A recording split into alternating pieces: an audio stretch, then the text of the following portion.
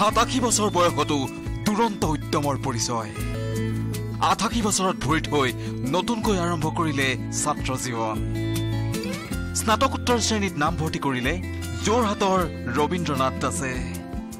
আদৰ্শ আৰু অনুপ্ৰেৰণাৰ অন্যতম উদাহৰণ যোৰহাটৰ সাতাশী বছৰীয়া বৃদ্ধ ৰবীন্দ্ৰনাথ দাস। এইগৰাকী ব্যক্তিৰ ইচ্ছা শক্তি তথা প্ৰাণোচ্ছল ব্যক্তিত্বই বৰ্তমান দৃষ্টি আকৰ্ষণ কৰিছে বহু লোকৰ।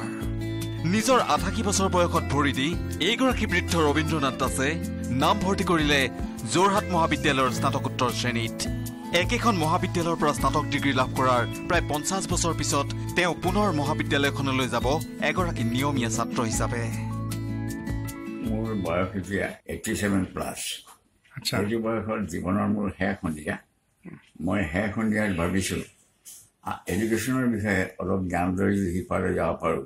মই আনন্দ পাম যিহেতু মই জীৱনৰ আৰম্ভণিত মই শিক্ষকতাই কৰিছিলোঁ। গতিকে স্কুলৰ প্ৰতি এটা মোৰ ধাউতি আছিল এই যোৰহাট কলেজৰ পৰা মই পঞ্চাছ বছৰ আগত বি এ পাছ কৰিছিলোঁ। হয়। মই মেট্ৰিক দিছিলোঁ ঊনৈছশ একাৱন্ন চনত। এই বয়সতো অসমীয়া হিন্দী আৰু ইংৰাজী সলসলীয়াকৈ কোৱা তথা নতুন নতুন বিষয় জানিবলৈ অদম্য ইচ্ছাশক্তিৰে দুচকু তীৰ বিৰাই থকা ৰবীন্দ্ৰনাথ দাসে আগ্ৰহেৰে অপেক্ষা কৰি আছে পাঠদান আৰম্ভ হোৱালৈ। নাতিৰ বয়সৰ ছাত্ৰ ছাত্ৰীসকলৰ সৈতে একেলগে শ্ৰেণীকোঠাত পাঠ গ্ৰহণ কৰি নিজৰ বয়সক পাহৰি থাকিব বুলি মন্তব্য কৰিছে নিউজ এইটিনৰ আগত। ক্লাছত এতিয়াও যোৱা নাই।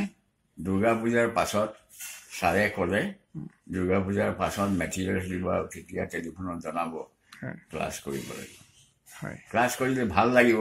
মই এটা ভাবিছোঁ য়ং জেনেৰেশ্যনৰ লগত মিলি যেতিয়া ক্লাছ কৰিম। তেতিয়া মই নিজতে ভাবিব নোৱাৰিম যে মই অষ্টাশী এজন বৃদ্ধ। নিউজ এইটিনৰ তৰফৰ পৰাও দুৰন্ত উদ্যমৰ প্ৰতিভু ৰবীন্দ্ৰনাথ দাসলৈ যাচিছো শুভকামনা। যোৰহাটৰ পৰা Gautam Bora news eighteen Assam north east